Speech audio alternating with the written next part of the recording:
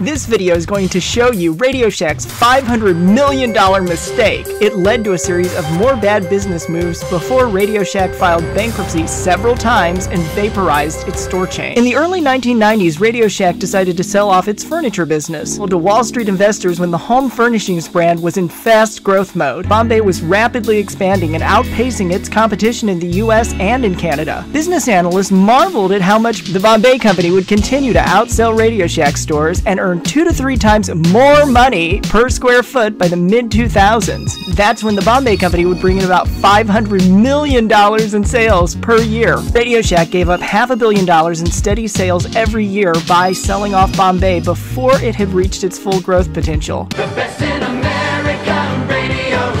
Radio Shack went from the largest seller of electronics in the USA to a small red circle with a single letter R inside that only exists on the internet now. Of course, both brands are still attractive to customers, but they're not owned by the same company that created them. They are both failed retailers that could have supported one another as consumer preferences changed and matured. Think about it. How many cell phones have you owned in your life? And computers, tablets, laptops, small music players, and maybe even a mobile pager. If you think back far enough, your device count will be at least a dozen, but keep counting. And looking back, how many times have your parents or grandparents changed their dining room table sets? Have they ever changed their dining room table since they got married? This is the key difference between Radio Shack's short life cycle products and Bombay's long lasting furniture pieces. People replace or upgrade their electronic devices and gadgets every year or two with no sentimental attachment. They keep their furniture and then they add more pieces as they do better in life. We've all seen the need for portable electronics as well as the need for versatile living spaces to fill in as multifunction rooms like an office, a classroom, even a dance recital studio. In the decades since Radio Shack and Bombay split apart, it's obvious that the two businesses would have been an ideal pairing and may have supported one another as the economy and everyday life evolved. There's no need to cry about bankrupt companies and fading brand marks, so let's see how Radio Shack got to this half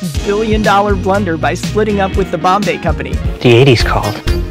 They want their store back. And until 1991, Radio Shack was selling furniture at shopping malls. For those who thought that Radio Shack only sold electronics, you're half right. Radio Shack got into the furniture business when it owned 100% of the Bombay company. And Bombay was a mall based retail chain selling accent furniture and home decor accessories. We'll look at Radio Shack's business connection a little later on, so keep watching. Let's look at how Bombay was once leading the furniture business and wrote its own history full of shocking moments, and Bombay operated almost 450 shopping mall locations across North America. There were stores in the US and in Canada. Look at these examples of their traditional style of dark stained wooden furniture. I'll have some more to show you as we explore the company's past. Many furniture pieces were inspired by antiques, but they were all brand new and came packed inside ready to assemble flat boxes. Look at where it all started as a mail order company in the mid 1970s. That's when the Bombay company found success by selling affordable small pieces of furniture that weren't fully assembled. This meant that smaller flat boxes could be shipped for a low price. When it went into the mall, it started getting most of its sales from impulse buyers, and shopping mall customers helped grow the Bombay brand as a profitable furniture business. In the 80s and 90s, Bombay was bougie. Along with its furniture collection, Bombay sold some smaller wooden items like velvet lined jewelry boxes and old fashioned time clocks. Blue and white porcelain vases were hand painted in China and then shipped to the stores. A lot of the small novelty items were things like brass telescopes or wooden game sets. Bombay's signature design style was brass and glass mixed with dark mahogany wood and green velvet. Everything was embellished to look expensive and luxurious. You'll still occasionally see their logo on some products sold at discount stores. Rewind to 1975. The Bombay Company got its start in New Orleans, where it was started by a guy named Brad Harper. He wanted to sell small pieces of furniture through the mail, just a few mahogany stained replicas of some antique furniture that would have been common in the 18th and 19th centuries in England. Brad was a genius and figured out that he could sell accent furniture like plant stands, end tables, and butler tray tables without opening a physical store. Keep in mind, this is way, way before the internet. He got stuff custom made and imported it from Asia. He put ads in upscale magazines like The New Yorker to find the right customers for his business. Not much is said about Brad Harper's first business partner who helped him get the company started, so Brad gets most of the credit for the company's early success. By the way, here's a trivia fact. Bombay Company was supposed to remind people of the glory days of the British Empire at its height. However, most people missed the reference. They still bought the furniture anyway. When orders came in, Brad would ship them out in small packages. The customers put their own furniture together. Nothing too crazy. Most often, all the customer had to do was screw the legs on a table. Before it was owned by Radio Shack, and at the end of the 1970s, the Bombay Company was racking up annual sales of about $1.5 million, and it had a few dozen pieces of accent furniture advertised in different magazines. But even with a million and a half dollars of sales coming in, the company was losing money. There were some early problems. The quality of the products varied a lot, and some of Bombay's overseas vendors in Asia turned out to be flaky or even sketchy. At the start of the 80s, the Bombay Company's growth hit a brick wall, and it really had limited growth potential because it was only a mail order catalog business. So, Brad meets this business guy from Canada named Bob. Officially, his name is Robert E. M. Nourse, who was a Canadian entrepreneur. He's a key figure in the company's past. Brad and Bob hit it off, and in 1979, Brad signed an agreement with Bob to let him start selling Bombay Company products in Canada. This was a pretty sweet deal for Bob because he got the entire Canadian market for $1 and he only had to pay a 4% royalty on Canadian sales. Bob knew that Canadian mail order sales were low, so he turned the Bombay Company into a superstar mall store. In April of 1980, the first Bombay Company store location opened in Toronto at the Eaton Centre Mall. This happened to be the most popular mall back then. Bob had figured out that the Bombay Company needed three things for the first Bombay concept to work value, fashion, and instant availability. As long as the products were made in Taiwan and other East Asian countries, he could rely on getting low cost inventory, and royalties could be paid after the item sold so he didn't have to pay 4% up front. Bob goes all out to make his store the most fashionable in the mall.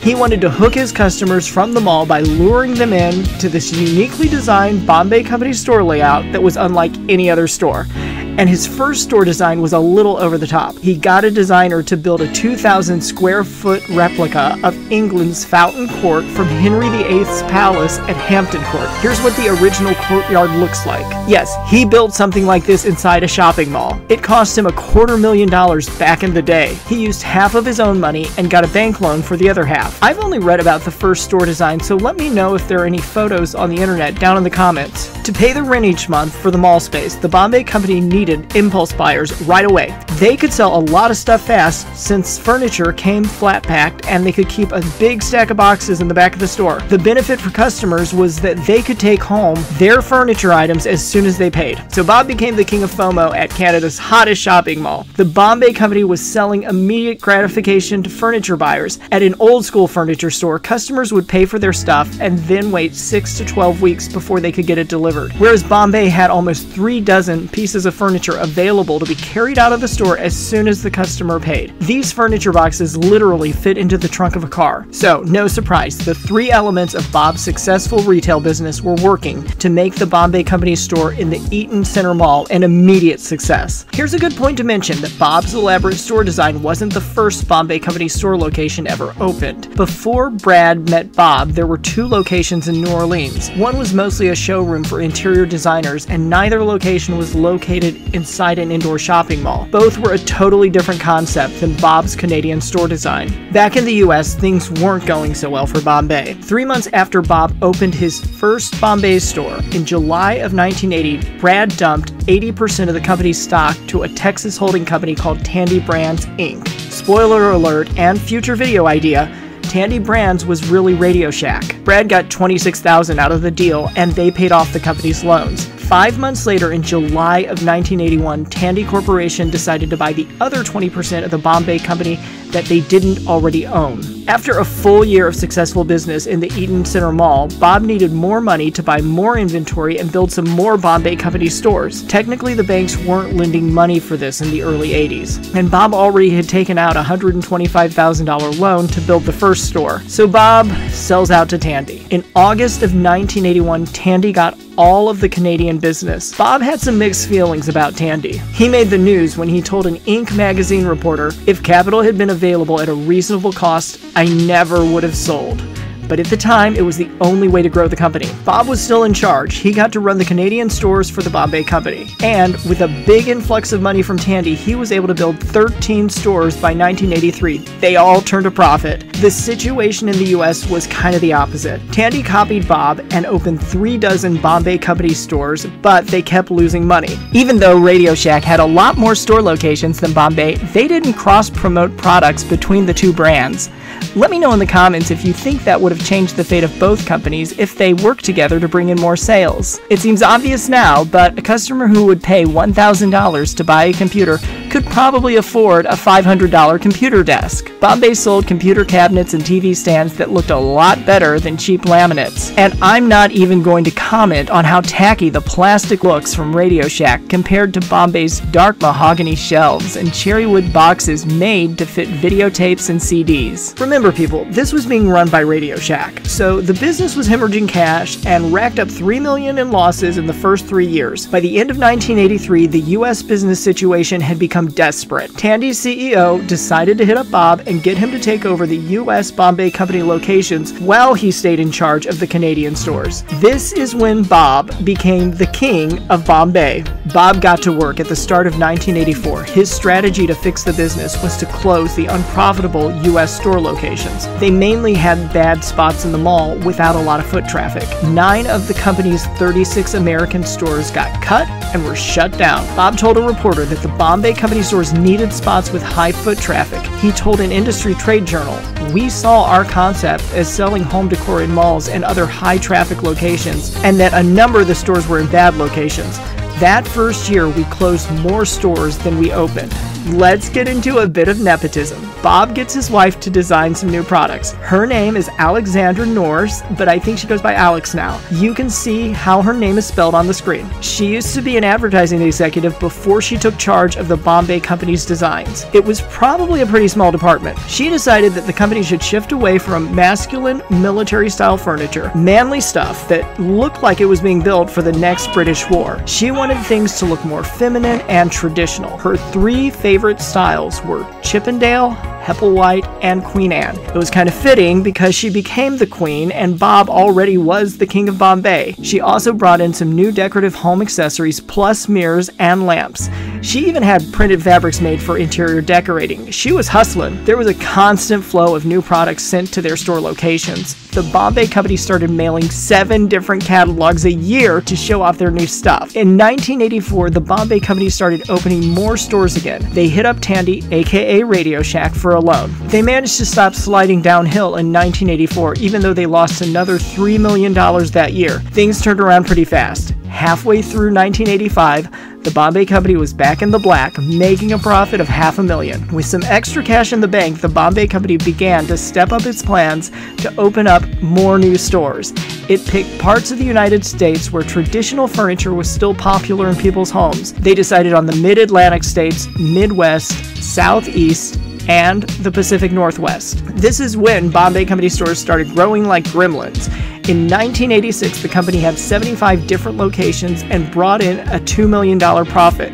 And more stores kept popping up. So in 1987, the number of Bombay Company stores was 114. In the late 80s, between 1988 and 1989, the Bombay Company went into the Sun Belt they set up stores in Los Angeles and South Florida. These stores were a little different because the outside architecture had to blend in with other nearby buildings. Here's what Alex said to a magazine reporter We have to be careful.